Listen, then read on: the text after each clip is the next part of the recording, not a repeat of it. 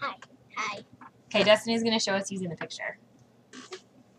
Can you tell tell Drew what you want him to do? I want you to read this.